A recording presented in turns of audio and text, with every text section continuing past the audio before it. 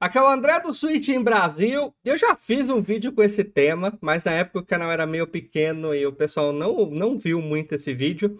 Então eu estou retrazendo aqui o tema que é o seguinte: por que empresas, né, geram rumores e vazamento sobre si mesmas, né?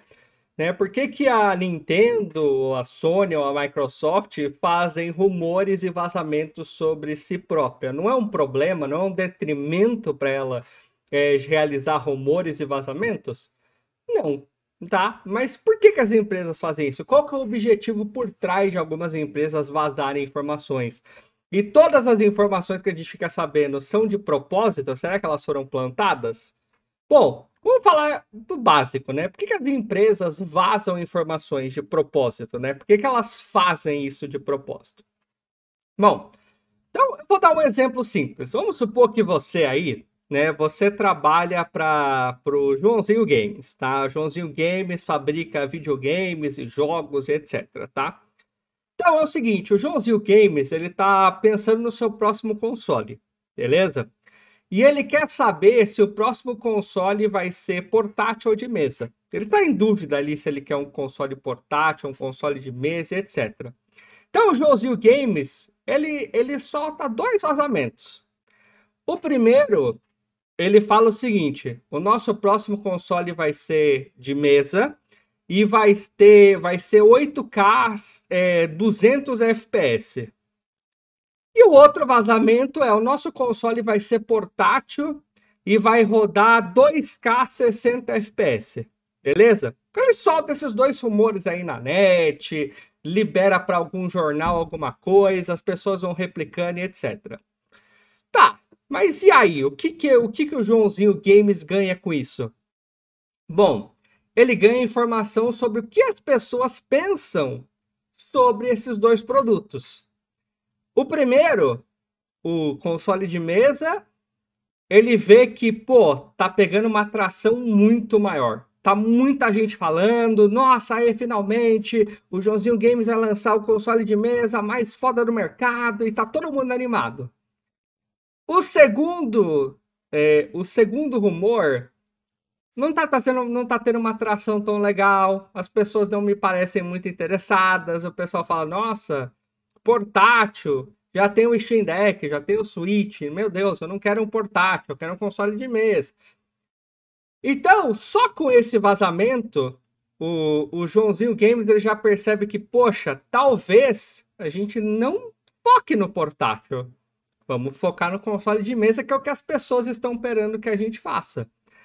Né? E aí, conforme nisso, você vai planejando o seu futuro, né? Beleza, a gente sabe que o pessoal tem mais interesse, né? O pessoal gostou mais da notícia do console de mesa. Então, vamos começar a investir nesse console de mesa aí. Aí daqui um ano, a gente lança um a gente faz outro vazamento sobre as specs. Mas agora a gente faz um vazamento que o console de mesa vai ser 4K, mas vai custar 200 dólares. E aí a gente vê o que, que o pessoal acha dessa informação aí. Aí a gente vê se o pessoal tá feliz ou tá triste, se o pessoal tá puto, tá reclamando. Né? Então a gente começa a pegar essa informação. Talvez, né? É... console de 4K, etc. O pessoal não curta a ideia. Né? E conforme você faz esse vazamento, o pessoal fala: não, eu quero 8K, ah, eu quero 16K, mas é, nem que eu tenha que pagar mil dólares, eu quero um console de 16K. Aí você vê um monte de gente falando que quer um console de 16K, de 16K, de 16K e vai pagar até 700 dólares, 800 dólares um console mais potente do mercado. Aí você vê que ninguém tá afim de um console de 4K baratinho. Então talvez a sua ideia não seja essa, talvez os seus consumidores ou o mercado não esteja interessado nisso. Ah, André, mas as empresas fazem pesquisa para chegar nesse tipo de informação. Sim, claro que as empresas fazem pesquisa. Porém, o problema da pesquisa é que ela conversa bem, de maneira randômica, mas ela não entrega a visão dos seus próprios consumidores, né? Quando você realiza vazamento, seus consumidores eles tendem a ser muito mais ativos em dar suas opiniões do que quando você faz pesquisa, né? Então, o vazamento ele é bom para atingir uma grande massa e principalmente dos seus fãs, porque são as pessoas que vão ser mais ativas em falar sobre esses vazamentos. Enquanto a pesquisa, ela dá uma visão meio que geral do mercado, que é importante, mas não é tudo. E principalmente uma empresa de games, talvez não é nem a mais importante. Talvez saber o que o seu público específico pensa seja muito melhor. E aí esses vazamentos ajudam você a ter uma ideia ali do, do pessoal dos games, dos seus próprios fãs, o que os seus fãs estão achando e etc.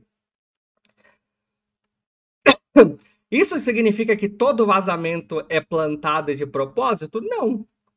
Né? Às vezes acontecem erros, né? E assim, eu já eu já vivenciei alguns desses erros, né, de mandarem para pessoas e-mails que não era para ser mandado e essa pessoa deixa vazar, por exemplo. Então, assim, é... um amigo meu, ele trabalha como merchandising de uma de uma empresa de, de filmes, tá? Faz merchandising para uma empresa de filmes. Um, e assim, isso, né, ele me contou. Sem querer, né, essa empresa, ela mandou o merchandising de um filme que não tinha sido nem anunciado ainda para o e-mail, né, de, de todo mundo que faz o merchandising para essa empresa. E acabou vazando com uma certa antecedência e tal. É, as, é, quer dizer, o filme já tinha sido anunciado, mas vazou com uma certa antecedência algumas coisas que não tinham sido confirmadas ainda, né? É, tempo de duração e etc. Então, assim, não foi de propósito, né? A pessoa que, tava, que era responsável por mandar o, o merchandising para as pessoas divulgarem e acabou mandando informação demais que não tinha sido, que não tinha sido divulgada ainda. Foi um erro honesto.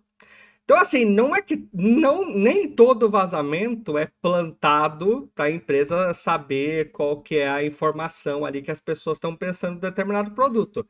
Às vezes, pessoas simplesmente erram, né? E mandam errado mesmo. Então, assim, uma empresa de filme aí, que nem eu falei, acabou mandando uma informação a mais que não era para ter enviado. E aí todo mundo que fazia o merchandising dessa empresa acabou recebendo uma informação adicional ali que não era para ter recebido naquele momento. No caso, um tempo de duração, alguma coisa assim. Ah, e que nem eu falei, né? Às vezes esses vazamentos acontecem. É, às vezes o pessoal que trabalha no Walmart, por exemplo, recebe a informação de estoque com antecedência. Então, por exemplo, o pessoal que trabalha no Walmart sabia que os OLEDs do Pokémon seriam estocados com três semanas de antecedência, porque eles recebem essa informação que tá nessa nesse dia tal a gente vai receber esses produtos, a gente tem que estocar e a gente tem que colocar na frente da loja. Né? Então o pessoal já sabe que esses produtos vão chegar e já sabe o que, elas, o que eles vão ter que fazer com esses produtos. É claro que eles não podem divulgar essa informação, mas de vez em quando alguém divulga. Então, nem todo vazamento é plantado e serve um propósito. Às vezes a empresa simplesmente erra e às vezes pessoas têm informação e acabam divulgando, mesmo sendo errado e mesmo sendo até um crime, né? Você assina um contrato, etc. Mas a pessoa que está no fundo da cadeia de produção não se importa muito com isso e acaba divulgando mesmo, porque sabe que no final das contas não vai dar em nada e também nunca vão descobrir quem fez, né? Então, assim, né? É, por que que, só para resumir, por que, que as empresas realizam vazamentos e, de informações, etc. Muitas vezes é para coletar o pensamento do seu público sobre determinada coisa que ela está planejando. Talvez seja um console, um jogo, um planejamento, alguma coisa assim, né? Ah, que nem eu falei aí do Joãozinho Games, que lança dois rumores, um sobre um console de mesa, um sobre console portátil, e vê qual que vale a pena investir para frente. Se muito mais gente tiver mostrar e mais interesse, mais tração, mais comentário, etc., no console de mesa, vamos investir no console de mesa, que é o que a pessoa mais espera que a gente faça, né? Uh, isso significa que todos os vazamentos e informações, etc., que aparecem foram plantadas e servem um objetivo? Não. Às vezes pessoas simplesmente cometem erros e às vezes pessoas trabalham e não levam muito a sério a eh, confidencialidade e divulgam informação mesmo com antecedência. Né? Por exemplo, é, eu vou dar um exemplo aqui, né? O Metroid Remastered, ele chegou no Walmart com cinco dias de antecedência. E tinha gente vendendo ele na loja, entregando mesmo não tendo sido lançado ainda.